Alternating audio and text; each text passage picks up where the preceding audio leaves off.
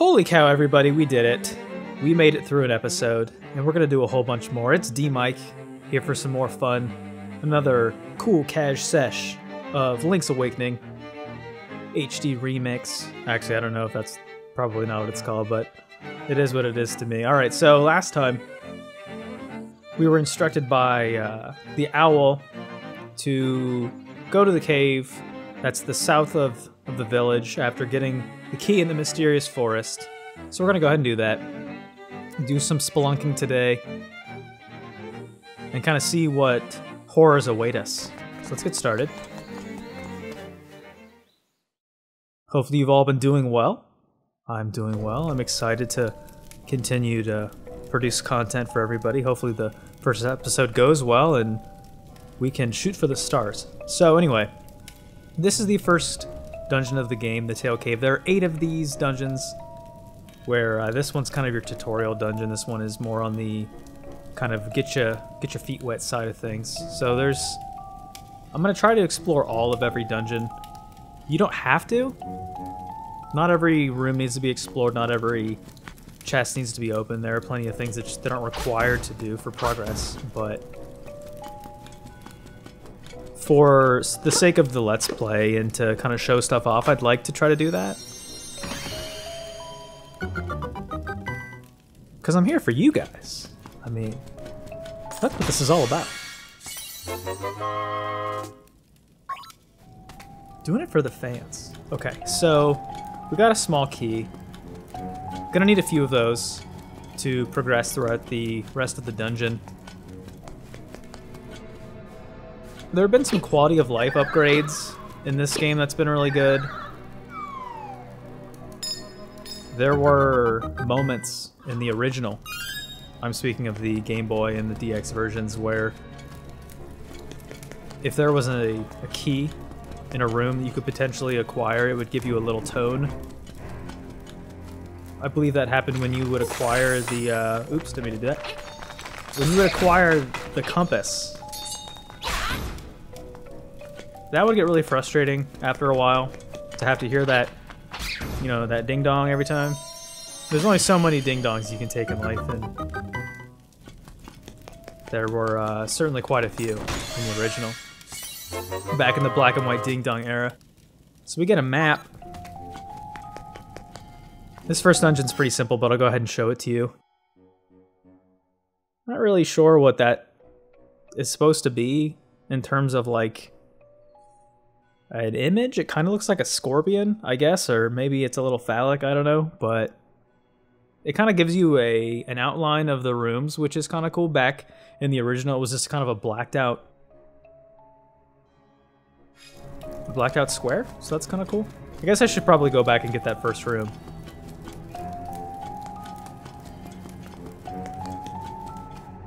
The way that they've handled the kind of changes from this game to the other game, or changes in this game from the other game, sorry, is really nice. And I know that a lot of people want to complain nowadays that the player is being having uh no there's that tone i talked about it's the compass yeah.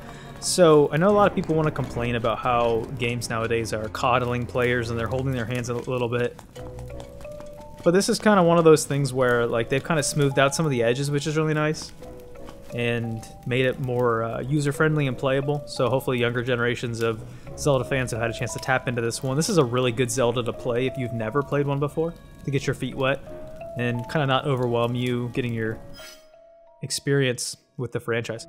So we got the compass. The compass combo with the map.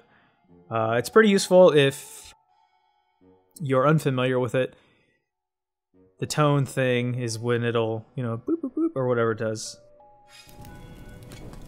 That's there. But it just used to be really, really repetitive and grating.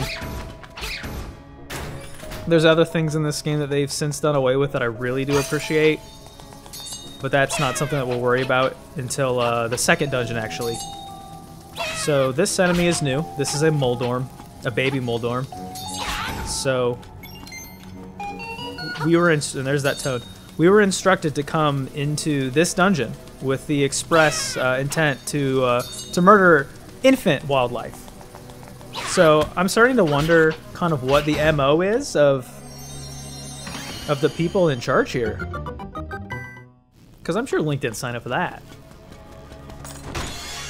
I mean, if you've played the other Zelda games, you'll know that he's got plenty of animal buddies, so causing uh, havoc and murder on the wildlife does not seem to be part of uh, Link's mantra.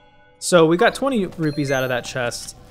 We're actually going to want to acquire quite a bit of them for a couple of purchasable items in the future, which we'll worry about um, when that comes to pass. But over here, you'll see that there is a kind of cracked wall. That's not something that we can deal with right now. We'll actually have to come back to look at what that is later. That This is one is uh, pretty easily missable. I don't know if there are too many other examples of this, but this is one of where you could come back into an older dungeon with a newer item and use that to pick up a collectible. Speaking of, another small key. What's nice is that the top of the screen in the upper left, you'll see that we have three of them, so the game does keep track in case, for those of us who uh, are a little bit on the immune side of counting. Can't blame you. Uh, counting sucks. There's a key block up there, but we can't do anything with that yet. What we actually have to do is... Because we don't have the ability to jump yet. That's one of the big things.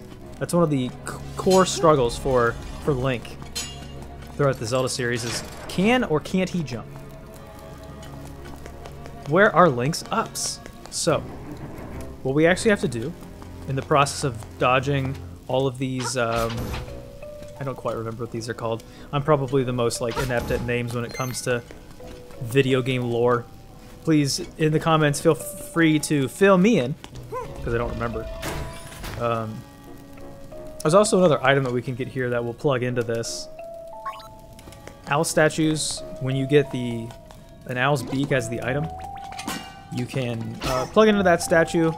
It'll give you a bit of a hint. So these guys, when uh, hit with, well, they will actually attack us, so that's pretty rude. Uh, when they will rudely go after us, pop out your shield, and they will aggro onto you, and in the process, you can flip them over, give them a couple whacks, and then uh, they'll take it, take them, take them down. So, our third or fourth example of a of a I almost said Disney character of another Nintendo franchise being uh, abruptly inserted into this one, Goombas. Speaking of phallic things. Alright, so this is a little foreboding. I don't know what this could possibly mean, but we can't get it. So we'll have to figure out a way to do that. Dodge the spinners.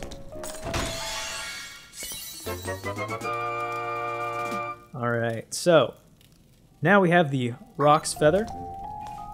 Go ahead and pop into your menu. Nope, not that one. This one.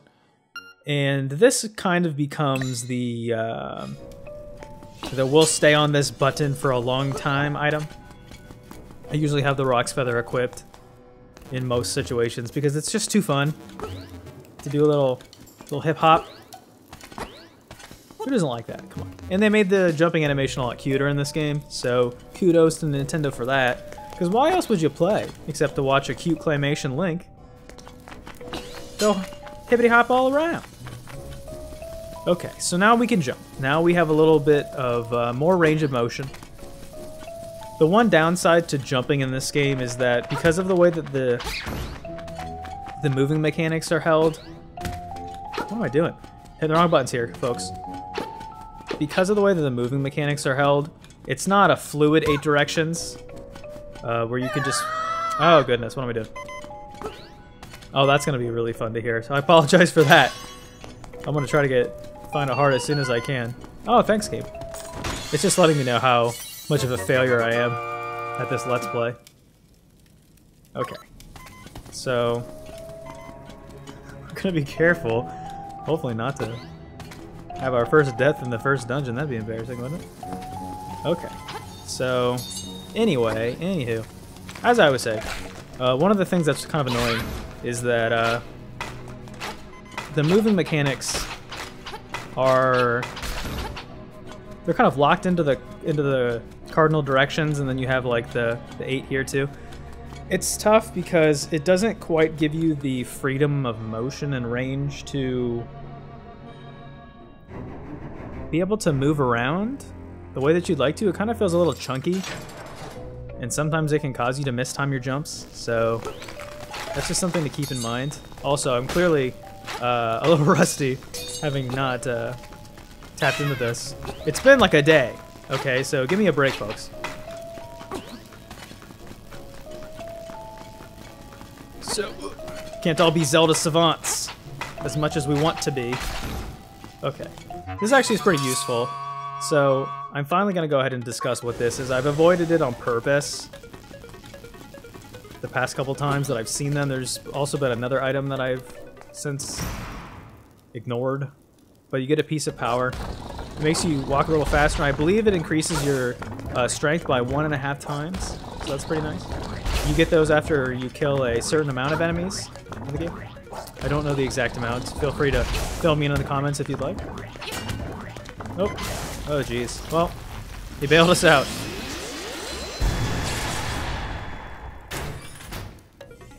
Thanks, piece of power. So, as our reward for beating that mini boss, when you uh, when you beat off a mini boss, your reward is you get a fairy and a. I don't want to say like mid dungeon warp, but I mean it's pretty close. So, all right, so let's check. You'll see that there are. Oh, well, you know, I said I was going to explore everything, so I'm going to stay true to my word. You can go north here as well and take more damage. So here's another... these guys. Here's another item, or enemy, that you'll notice uh, kind of based off of, I guess, a deck of cards. That situation isn't too bad, but there are instances later in the game in like a future dungeon where the item that you need to progress is what you get from them, and it's just irritating having to try to deal with that. Alright, so if you get that item earlier, you can plug it into those owl statues and it'll give you a little hint if you need it. Pretty useful for uh, for a new player. Just a little hint. Okay, so let's go ahead and take on our first boss. I wonder who could be. Oh, it's the Burger King.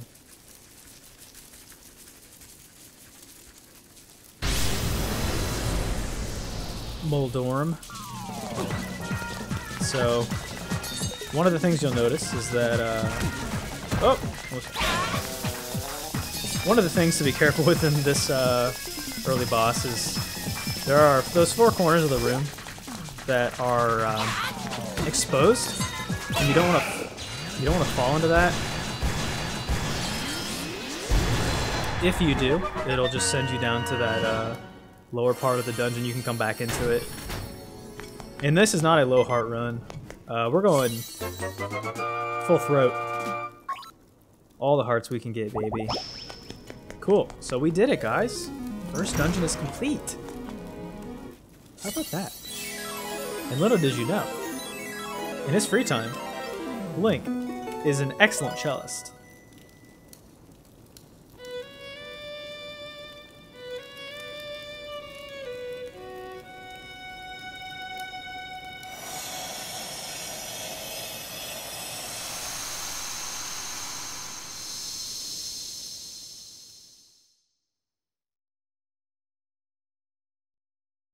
Drain that swamp, baby. All right, so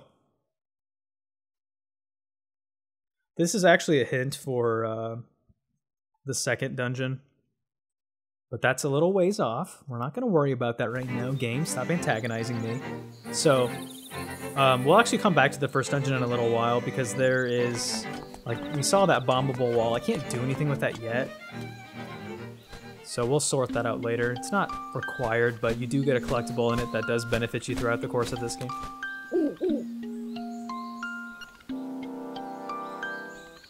Alright, so that's rude. For somebody who might be struggling with like self-awareness issues, Owl, maybe take 5 to 10% off that one.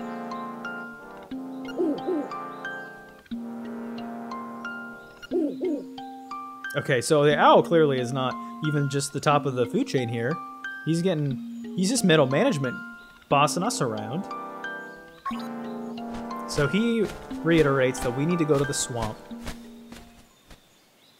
which is very desirable. So we go to a very dangerous forest. We're told to go to a monster-infested beach, and then spend time in a swamp. I don't know who planned the itinerary of this trip, but it sucks. So we do have a little bit... Oh, excuse you. So we do have a little bit of... Uh, a little bit of a chore to do before we head back up. If you remember, CiaoCiao, the little baby Bow Wow, was so kind to give us her ration of dog food. So it appears as though this alligator, who has a plethora of bananas, maybe a member of the Yiga clan, if you get that one, might be interested.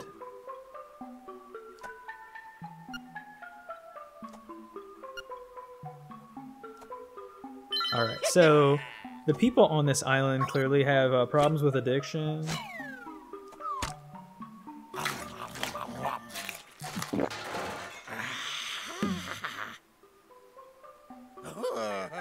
Now, in fairness, uh, I can't say I've ever had that type of reaction when given uh, the opportunity to have some dog food, but as somebody who is a big fan of chicken tendies, you put those in front of me, and I might lose my mind a little bit too. Alright, so um, at least now we have actual food. That's a bit of a of a bit of an upgrade. Okay, so that's another progression in the trade quest. But unlike um, the last item, getting that set of bananas is actually required to progress you can kind of stall the trade quest for a little bit, but in general, you're going to be hard pressed to to move forward with the game. Oh, okay. So these these children are having a rough go. Moblin's in the village.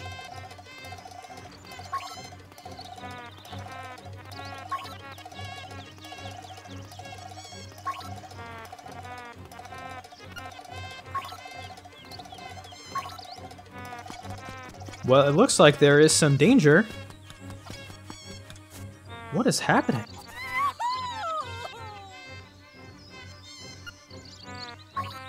Alright, well we will not stand for that. Wonder where they could have gone, though. Hmm. Well, if I had any sort of a hunch... The last time that we encountered moblins was in this spoopy forest. So maybe that's where we'll start our search. Be on the lookout for an Amber Alert to all your phones from Madam Meow Meow. Okay. So. Wandering around this forest. Once again, I just wanted to point out that I think the fog effect is kind of a nice little aesthetic. Um, that's what this game does really well, is there's just little touches that they added to it that, beyond the quality of life stuff, like I'm just talking about aesthetics here, that I think are really uh, nice improvements. Okay, so that we saw the piece of power in the tail cave. This is its defensive counterpart, the Guardian Acorn. So I don't know if it changes your uh, default speed, but I do know that it improves your defense as it said. I don't want to talk over you, fans. I know that you can read. But anyway, let's grab this piece of heart real quick.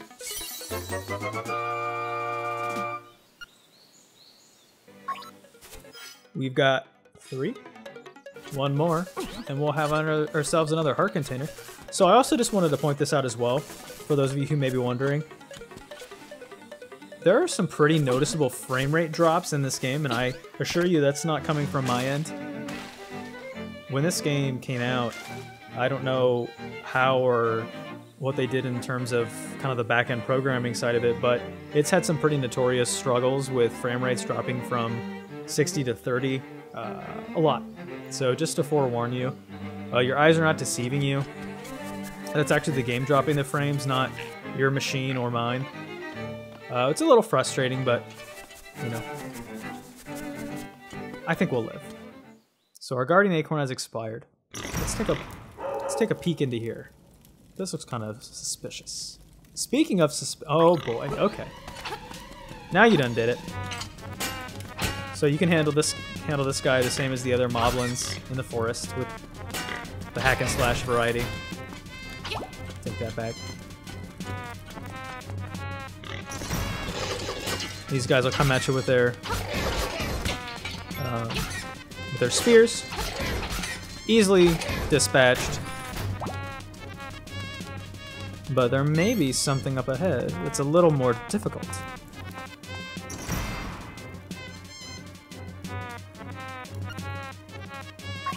Okay. So this is the... I don't know what his exact name is, but... Oh, I screwed that up. Anyway, um...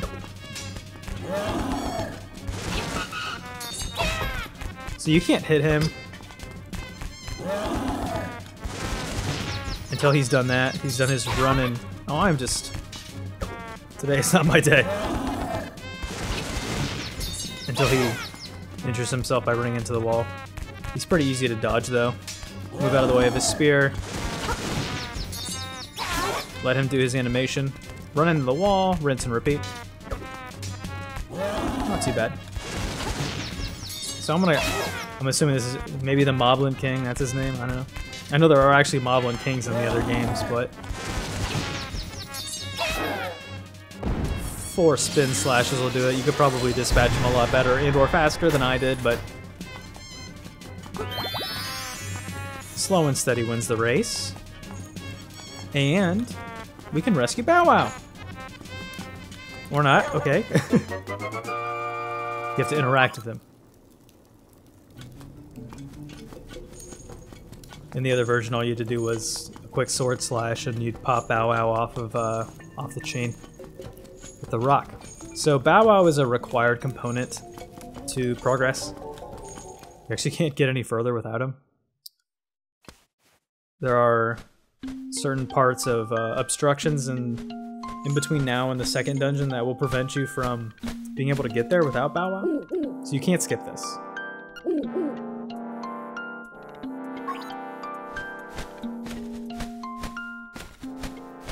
Pretty convenient to be told that by the owl because the swamp is literally right next to us.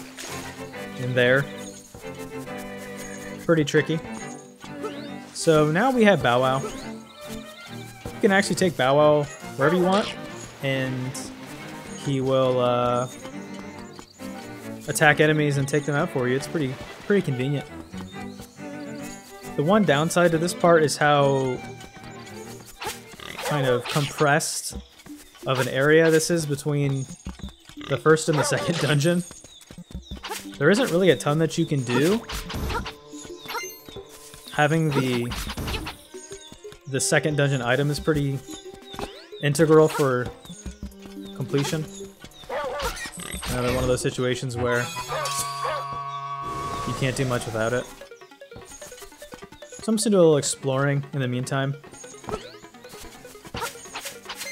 Kind of see what's up and around here. The one thing, like I mentioned before, that you're going to definitely want to do...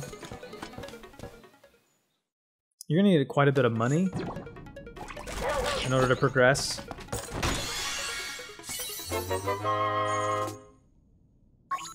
So it doesn't hurt to kind of roam around a little bit and see what you can pick up. There's obviously stuff that we're not going to be able to get now. We've got skulls and rocks and other various paraphernalias in the way. And one thing too for that was in the other game that they kept. uh, kind of a little hint station as well, maybe like a fortune teller, or are these hedges that have telephones on them?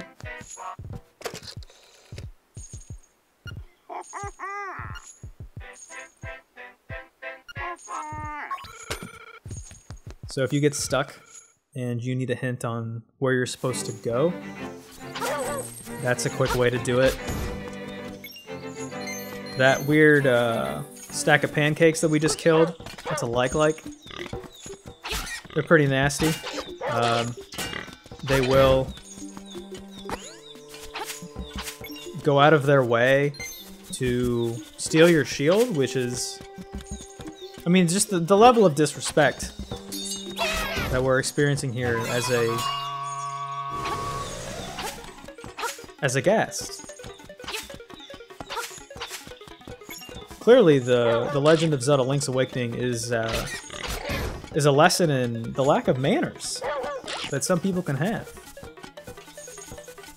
I know those who watch this video are far more diligent and respectful at their upkeep of their manners.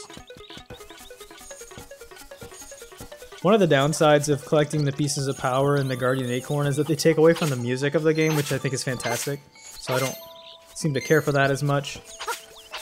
Now, one of the ways that you can get money, and then I used to do this when I would play the original game, is you can just chop down all these plants, I guess. And I would just do this for hours. There are much better ways to get money in the game, but this is the way that I used to do it.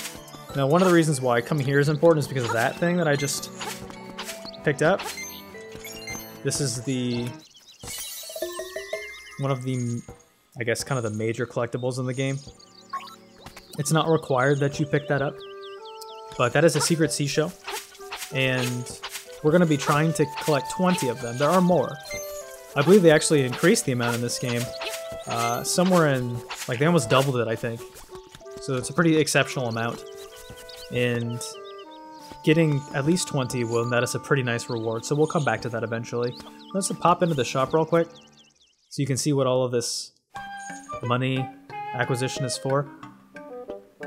There are some pretty expensive things that we'll be after in the future. The most expensive thing that we can get right now is a shovel, but we can't quite afford that right now.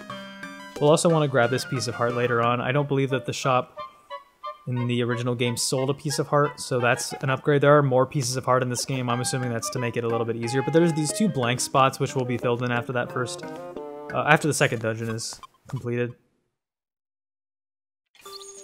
So I'm gonna want to pop in one last time to the the little trendy game down here.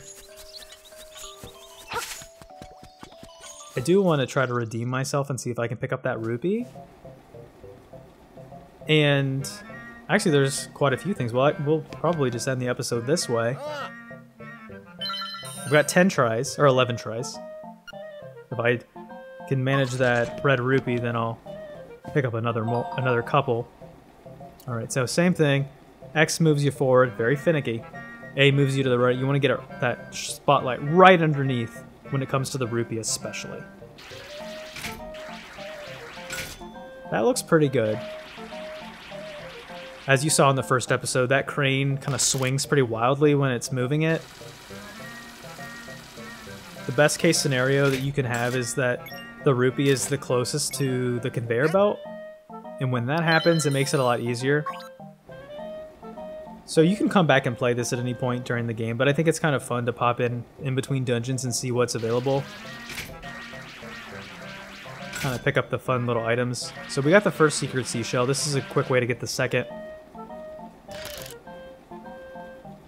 The majority of the collectibles that you'll find... Oh, cool game, thanks. Um, the majority of the collectibles that you'll find in this game aren't required, but...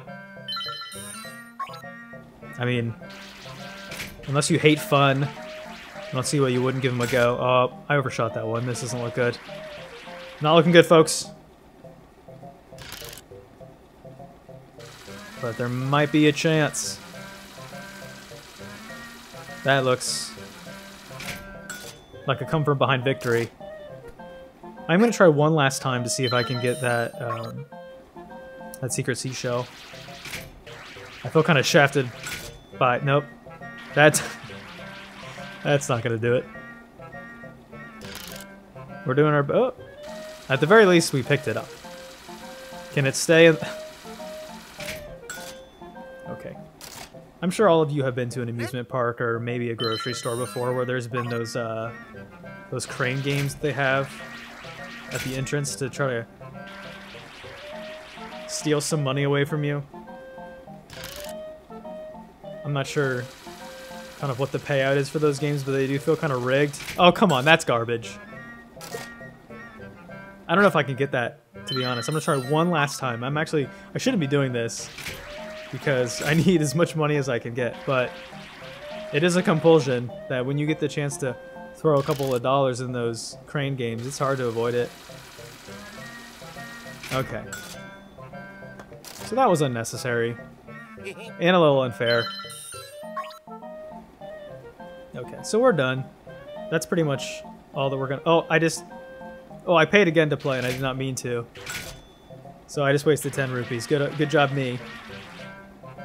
I guess I could have tried to pick up the, the powder. It's okay. I'm throwing away money like I'm buying GameStop stock. Okay. No. No more, no more playing. Let's collect our, our plunder here. Let's pick up all the booty. So we got 20 of our rupees back. We got another secret seashell and a